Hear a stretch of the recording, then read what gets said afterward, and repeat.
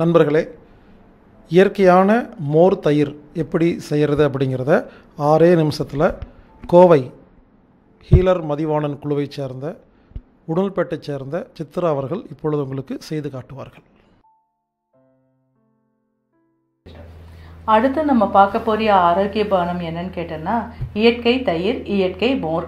இதுக்கு தேவையான பொருட்கள் தேங்காய் எலுமிச்சம்பழம் இந்த எலுமிச்சம்பழத்தை நம்ம எடுத்து அதில் இருக்கிற கொட்டைகளை நீக்கி வச்சிடணும் நம்ம. அதுக்கப்புறமா கருவேப்பில் கருவேப்பிலை கொத்தமல்லி தோல் நீக்கிய இஞ்சி சீரகம் உப்பு.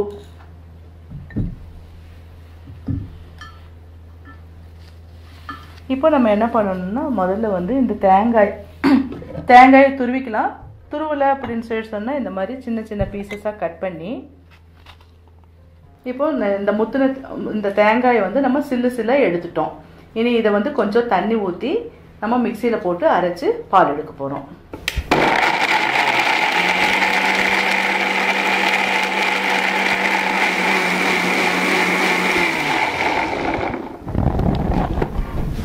இப்போ நம்ம வந்து இதை வடிகட்டினா நம்மளுக்கு வந்து தேங்காய் பால் கிடைக்கும். திக்கான பால் கிடைக்கும் இப்போ ஃபஸ்ட் டைம் எடுக்கிறதுல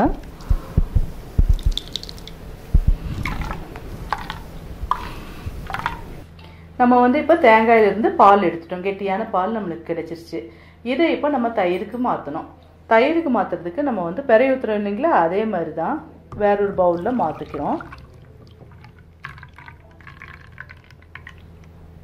மாற்றினதில் இப்போ ஒரு முடி எலுமிச்சம்பழத்தை நம்ம புழிகிறோம் புழிஞ்சு இப்படி கலந்து எடுத்து வச்சிட்டிங்கன்னா இது தயிர் ஆகிறதுக்கு உங்களுக்கு ஆறு மணி நேரம் ஆகும்.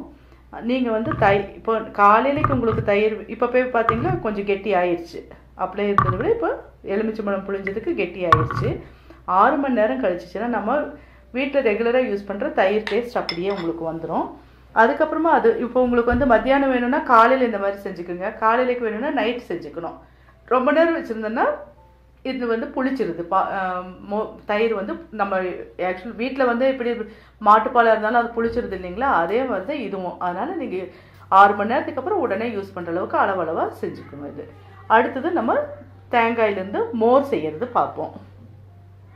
இப்போ அதுக்கு திரும்பவும் வந்து நம்ம சக் இந்த பால் எடுத்தோம் இல்லைங்களா? திரும்பவும் இன்னும் கொஞ்சம் தண்ணி ஊற்றி மறுபடியும் நம்ம அரைக்கிறோம். நம்ம இப்போ இதுக்கு மோருக்கு வந்து என்னென்ன ஆட் பண்ணியிருக்கிறோம் அப்படின்னா சீரகம் கருவேப்பிலை இஞ்சி உப்பு கொஞ்சமாக கொத்தமல்லி தழை. இது எல்லாத்தையும் போட்டு இதை வடிகட்டியாச்சுன்னா நம்மளுக்கு தேவையான மோர் கிடைச்சது நம்மளுக்கு இப்போ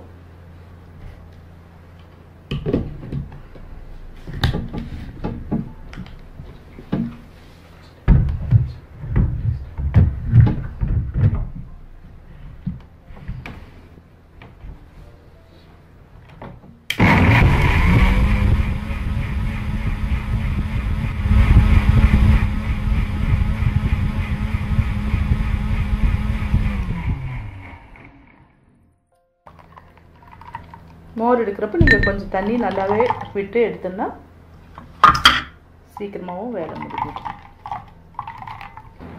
இப்போ நம்ம வந்து இந்த தேங்காய் வந்து சுத்தமாக சக்கையாகிற வரைக்கும் அதில் இருக்கிற பாலை எடுத்துடணும் மோருக்கு எடுக்கிறப்போ.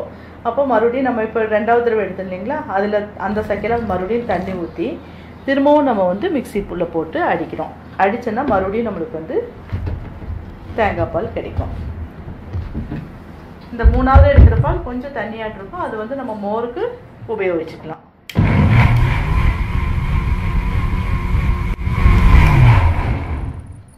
இப்போ இந்த பால் எடுத்தோன்னு வச்சுக்கோங்களேன். இதை வந்து நம்ம வந்து மோருக்கு உபயோகிச்சுக்கலாம்.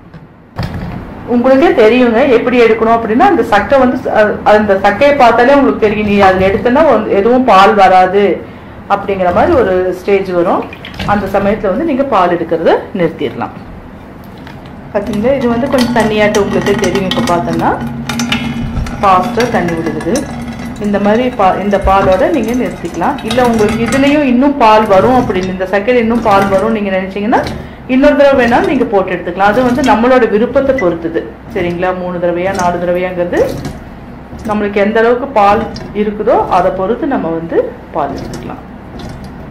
இப்போ பாருங்க இதுக்கு பார்த்தீங்கனாலே தெரியும். கொஞ்சம் தண்ணியாட்டு விழுகும். இனி இதுக்கு மேலே பார்த்தீங்கன்னா நம்மளுக்கு தண்ணி ஊற்றினாலும் சக்கையில் வந்து இருக்காது. நான் கடைசியாக அந்த கெட்டியான சக்கையை உங்களுக்கு எடுத்து காட்டுறேன். காட்டினீங்கன்னா உங்களுக்கே தெரியும் அந்த சக்கை வந்து இருக்காதுன்னு சொல்லிட்டு. இப்போ வந்து நம்ம நல்லா தண்ணியாட்ட பால் எடுத்துட்டோம். மோருக்கு வேண்டிய அளவு. இந்த மோருக்கு வேண்டிய அளவில் இந்த மிச்ச அரை எலுமிச்சம்பழம் இருக்கு இல்லைங்களா? அந்த அரை எலுமிச்சம்பழத்தை இந்த மோரோட பிழிஞ்சுக்கிறோம் நம்ம. இப்போ இந்த எலுமிச்சம்பழம் பிழிஞ்சு விட்டு கலக்கிட்டீங்கன்னு வச்சுக்கோங்களேன். இந்த மோர் வந்து நீங்கள் எப்போ வேணும் அது இப்போவே குடித்தாலும் நல்லாயிருக்கும். ரெண்டு மணி நேரம் கழித்து குடித்தாலும் நல்லாயிருக்கும். ஆனால் முடிஞ்ச வரைக்கும் நீங்கள் ஒரு ஆறு மணி நேரத்துக்குள்ளே இதை உபயோகப்படுத்திடுங்க இப்போ நம்ம தேங்காய் பால்லேருந்து எடுத்த இயற்கை தயிர் இப்போவே பார்த்தீங்கன்னா நல்லா கெட்டி ஆயிடுச்சு அடுத்தது இது வந்து இயற்கை மோர். இதை வந்து நம்ம ஆறு மணி நேரத்துக்குள்ளே நம்ம உபயோகிச்சுக்கலாம். இப்போ இந்த எலுமிச்சம்பழம் பிழிஞ்சு விட்டு கலக்கிட்டீங்கன்னு வச்சுக்கோங்களேன். இந்த மோர் வந்து நீங்கள் எப்போ வேணாலும் இப்போவே குடித்தாலும் நல்லாயிருக்கும் ரெண்டு மணி நேரம் கழித்து குடித்தாலும் நல்லாயிருக்கும் ஆனால் முடிஞ்ச வரைக்கும் நீங்கள் ஒரு ஆறு மணி நேரத்துக்குள்ளே இதை உபயோகப்படுத்திடுங்க